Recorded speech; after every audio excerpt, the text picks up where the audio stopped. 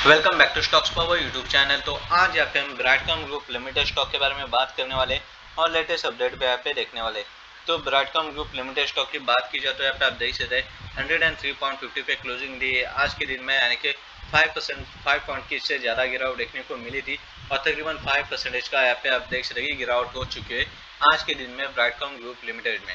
आज यहाँ पे पहली बात तो देखी जाए तो गैप डाउन से ओपन हुआ था। ओपन होने के बाद यहाँ पे आप देख सकते हाई भी बना चुका था हंड्रेड एंड एट का। हाई बनाने के यहाँ पे आप देख सकते कि प्रीवियस क्लोजिंग के नीचे ओपन होकर गिरावट देखने को मिली थी। तो यहाँ पे आप देख सकते जैसे हंड्रेड एंड फोर को ब्रेक किया तो और मूवमेंट यहाँ पे चौपी देखने को मिली थी ब्राडकॉम ग्रुप लिमिटेड स्टॉक का।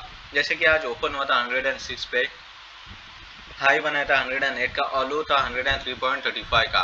तकरीबन मार्केट कैप भी देख सकते हो twenty point seventy thousand crore का है P ratio eighteen point seventy eight का है।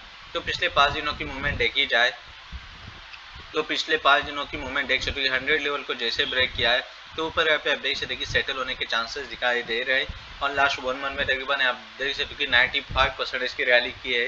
ब्राडकॉम ग्रुप लिमिटेड ने तकरीबन 50 पॉइंट की रैली करता हुआ नज़र आ चुका है।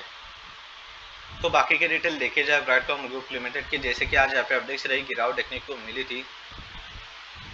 यानी कि hundred and three point fifty पे क्लोजिंग है तकरीबन यहाँ पे अपडेट्स दे नीचे भी आता है तो हंड्रेड लेवल थोड़ा सा अपडेट अपडेट्स स्ट्रॉन्ग सपोर्टिव का काम करेगा ब्राडकॉम ग्रुप लिमिटेड के लिए और वही से ऊपर जाने के चांसेस दिखाई दे सकते फिर भी ऊपर जाता है तकरीबन हंड्रेड एंड थर्टीन पे यहाँ पे स्ट्रॉन्ग रजिस्टर हुआ है मंथली बेसिस का तो वहाँ पे रजिस्टर लगने के चांसेस देख सकते हैं।